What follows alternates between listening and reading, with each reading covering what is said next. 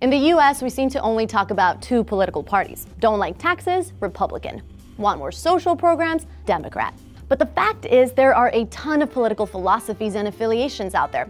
One of these is libertarianism, and it has grown increasingly popular over the past few elections. If you've never heard of it, that's fine. A recent poll found that even amongst self described libertarians, nearly a quarter of them had no idea what the word meant. So, what exactly is libertarianism? Well, the most well known version is the one that grew out of the 1960s counterculture movement in the US. In short, the libertarian philosophy says that everybody should have absolute freedom to live their lives how they see fit, as long as they respect everybody else's right to do the same. This generally means that most libertarians advocate for minimalist government on the basis that it should have no say whatsoever in the decisions a person makes about his or her personal life. This is a pretty Republican leaning ideal. At the same time, libertarians stress social freedoms like the right to gay marriage and abortion. In a nutshell, libertarianism appeals to people because it combines both political worlds. That may be why the Libertarian Party has been called the third largest party by both membership and popular vote in the US. But libertarianism is unique in its own way. It tends to support what is called a night watchman state, where the only function of a government is to protect its citizens from being injured or defrauded.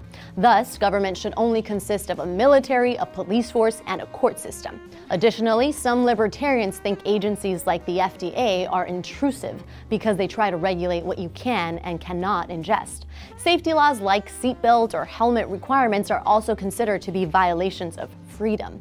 Libertarians also tend to lean towards drug legalization, getting rid of welfare, and supporting gun rights. However, some tenets of libertarianism have glaring problems in the real world.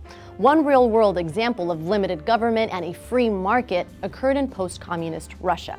Without government support, Russia's roads and banks collapsed, inflation skyrocketed, and many old and jobless people were left helpless. Libertarianism sounds like a good idea, but like a number of other political philosophies, it may be a bit too idealistic to actually work.